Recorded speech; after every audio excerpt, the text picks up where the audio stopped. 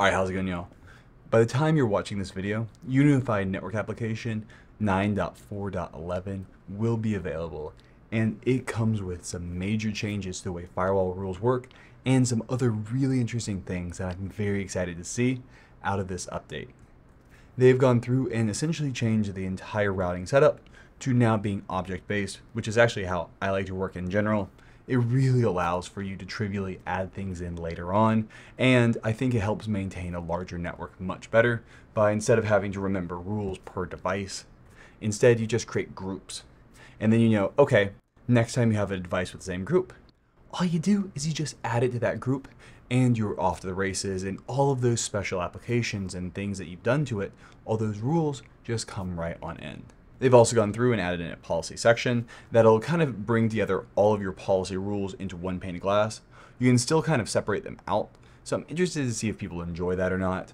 I think of port forwarding as totally separate than everything else, but it could make sense for some people, and you can easily toggle between the views, which I do think is very useful, as well as a whole bunch of other features. So let's just go ahead and check it out. So right now, I am running a UniFi controller and currently I am in the early access status, but by the time you're seeing this video, it will be fully out. And we're running 9.4.11 and controller OS actually 4.3.9 on this UCG Max. And this right here are the release notes for this application. And it really comes down to these three major updates that I'm going to talk about here. The object-oriented networking, the new policy table, the WAN Magic, I'm going to kind of go through and show all those and then some improvements.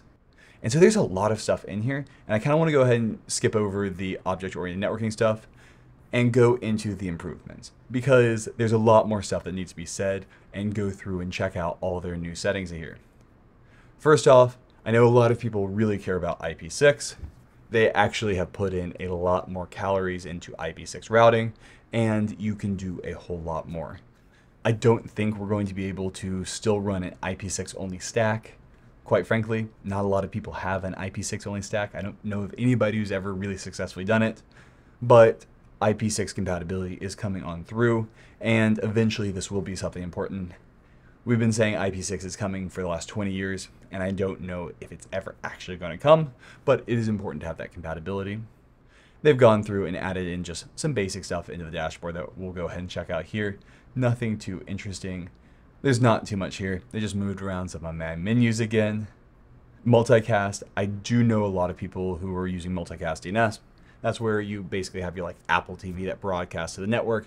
Hey, I'm an Apple TV. And then devices can reach out to the Apple TV all without actually requiring the Apple TV itself to be able to like talk and initialize those connections they have a lot more granular design to be able to actually not just broadcast that across everything across every AP, but really say who is allowed to send those things out, which is great for security. The content filtering side is actually very interesting to me. So now when something gets blocked, essentially it has an option to create a, hey, this site was blocked for X, Y, and Z reason. However, the internet runs on a thing called HTTPS, which is why your router can't interject ads into websites anymore. Back when everything was HTTP, your ISP actually could just sneak ads on into any website because they had that ability. Now, a router cannot add stuff into a website without first breaking HTTPS. And this page will show a this connection is not private warning. I'm sure anybody who's ever set up a router has seen a this connection is not private warning. But now a really interesting thing that they're doing, which I think makes a lot of sense, is for those users who are adding in identity, it will automatically install the router certificate so it will actually be trusted. Now this is a very enterprise feature and this is something that is really, really, really polished and one of the reasons why having a full stack of networking where your entire VPN, your identity, your access is all under the exact same network can be very powerful. Now it also does worry me a little bit because identity is a paid subscription thing, and I think that's reasonable. But one of UniFi's best features by far is the fact that not very many of their things require a subscription, and the things that do require subscription are normally very sensical. Like, hey, there's not a reasonable way to do this without a subscription. But stuff like this is where there's a lot of great features kind of behind a subscription, which I hope they don't continue working in that path. UniFi is growing and taking over a lot of places and doing a phenomenal job. And the reason why they're growing so well is the lack of subscription, in my opinion. And I hope they really keep that balanced well and we can continue to see them grow really well without having to go to a subscription tier where if you want to do a VPN, you start ending up to pay by user. So I'm hoping we don't end up there. This is obviously not that, but I just don't want us to continue down that path where maybe five or six updates from this, it, it starts looking like that. Then there's not too much stuff here, the others page, and there are a bunch of bug fixes. the funniest one is somehow VLAN 4040 was actually hooked up to layer 3 switches. I have no idea how some of this stuff happened, but it were all some very, very, very specific edge cases that I had never run into. And so now let's go in and actually check out these major features that are really the reasons to update this. And this is where we have completely redone our networking again. I love and hate UniFi for this. They're always updating, but they keep moving my menus around and it becomes hard to find. But over here, we have this new objects section. And this right here is where you can start building out client groups as objects. So you can really go through and instead of having to do it by device and by specific application that we're talking about here, it all brings it into one nice policy, which I'm a huge fan of this. So now your rules that you create for your VLAN and devices are all kind of just brought in together. So I'm going to create a new group, call it laptops, and the only device on the network is this laptop. So we're going to say, going to create a new policy for laptops, and we are going to, oh, we don't want to cut internet, we're going to exclude them from, from X, always on, and who knows what else. Maybe we'll also route their traffic, and we'll, we'll route their app traffic to Plex, through only WAN 2. Okay, so this right here is my rule. Basically, we create a thing for laptops, and this could be for company computers, this could be for Apple TVs, this could be for NASA's, this can be kind of whatever you want it to be. And now the idea behind this is, is you create rules in a much, much broader section.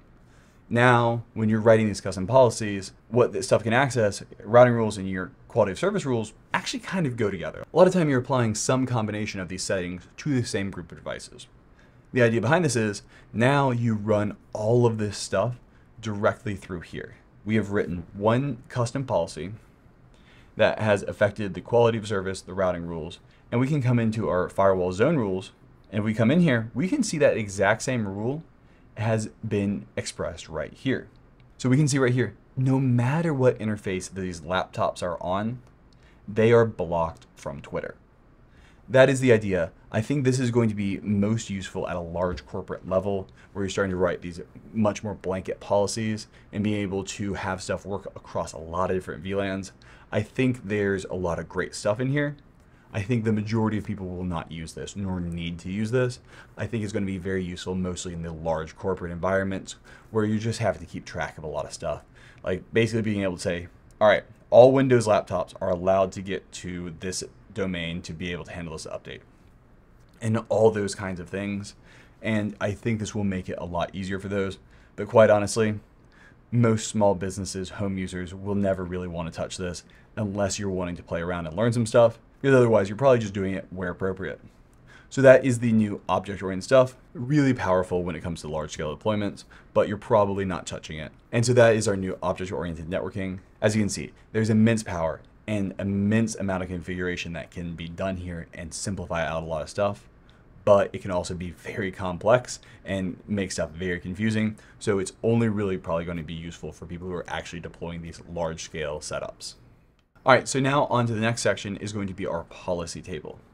This is actually where they've brought in all of those individual rules and stuck it all in one place. And this is by far the thing I'm most interested to see if it works out well or not because they have essentially just moved all of the buttons again from having headers up here to now everything's a single table operating off of this. Now, I do like that you have a very easy single source to see everything. So you can see really quickly and easily what stuff is actually implemented. And as somebody who comes into UniFi setups all the time and helps people just make sure everything's looking okay, being able to see that nobody's touched port forwarding without having to click into port forwarding is actually really useful. I actually really like that side of things and it keeps it a lot faster to run these things. And so now if we create a new port forwarding rule, we can create a rule right here that it doesn't actually do anything.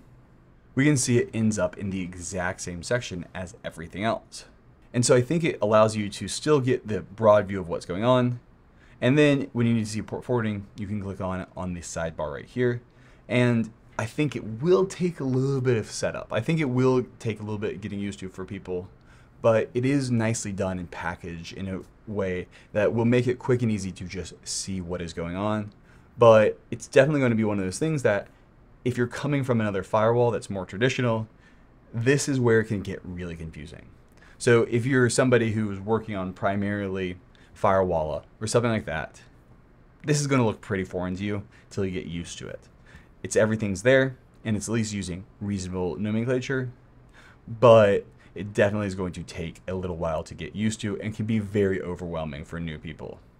Then finally over here, our BGP and OSPF have been switched into this little section right here for dynamic routing. So you can go ahead and set these up right here, which very few people will be using. You have to really, really, really know your networking stuff and have a good reason to use it to use either one of those. But if you need to, you absolutely need to. And so that is how the new policy table is set up. All right, so those were the really major improvements to this. I think there's a lot of interesting stuff there. Some of this is just going to be getting used to where the new buttons are and the new functionality.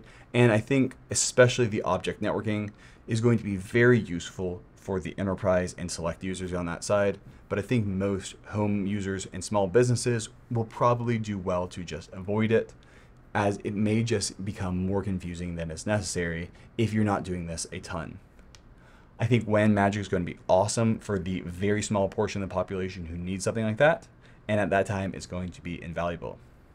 All right, well that's going to be it for this. If you have any other questions, go ahead and put those down in the comments below. And if you want to hire me, there's a link for that down in the description below. And have a good one. Bye.